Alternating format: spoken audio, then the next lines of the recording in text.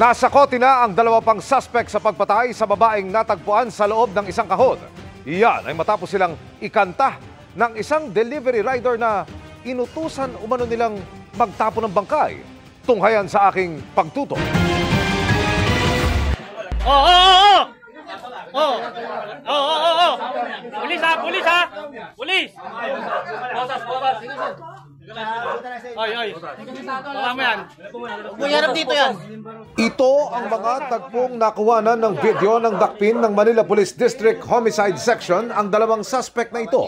Sumunod ka lang! Sila ang itinuturong nasa likod ng kaso ng pagpatay at pagsilid sa kahon sa isang babae.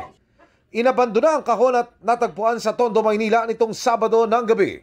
Bukod sa dalawa, nauna ng dinakip ng Manila Police ang isa pang suspect.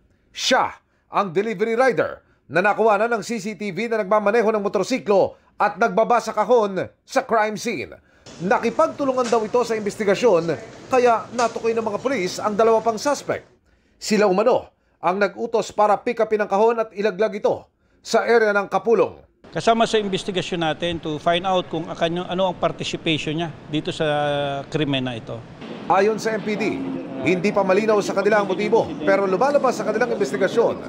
Sangkot sa illegal drug trade ang huling dalawang suspect na kanilang nadakip.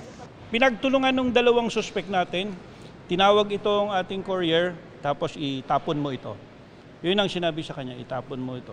Parang nagreklamo pa nga, mabigat. But just the same, uh, he acceded to the instruction.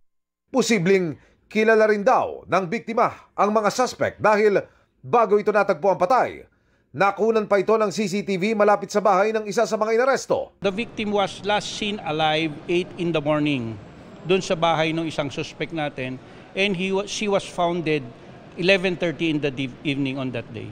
Nagpakita na rin sa MPD headquarters ang pamilya ng biktima at sinasabing nagbigay na rin ng salaysay para magbigay linaw sa kaso. Ayon sa mga suspect, Wala po akong kinalaman sa ganyan. Wala po talaga akong kinalaman.